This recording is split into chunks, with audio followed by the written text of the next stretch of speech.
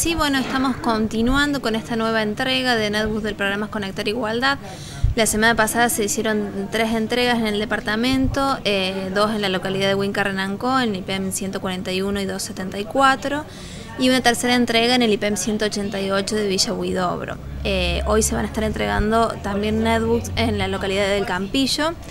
en, la escuela de, en el IPEM de la localidad de Campillo, Enrique Cook, y el próximo jueves en la escuela de trabajo, en el IPEM 52 aquí en Huincarrenanco. Todas estas entregas son entregas complementarias que le llamamos nosotros. ¿Qué quiere decir? Estas distintas instituciones educativas ya forman parte del programa, han recibido entregas anteriores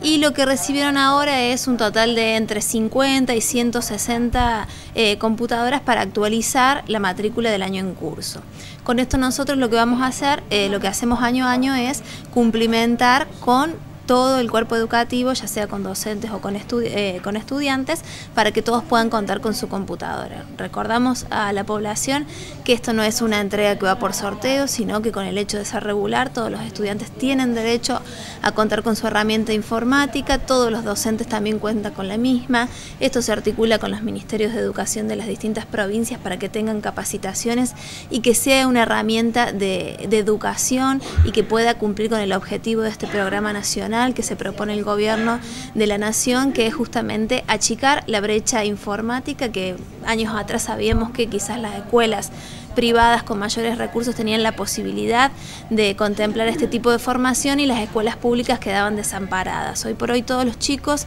y vemos con mucha alegría que por primera vez, inclusive en el grupo familiar, adquieren este tipo de, herramienta tecnológica, llega por primera vez una computadora a la casa, los chicos pueden trabajar en la escuela, se la llevan a la casa y también en el caso de aquellos jóvenes que cumplimentan sus estudios en tiempo y forma, terminan el secundario,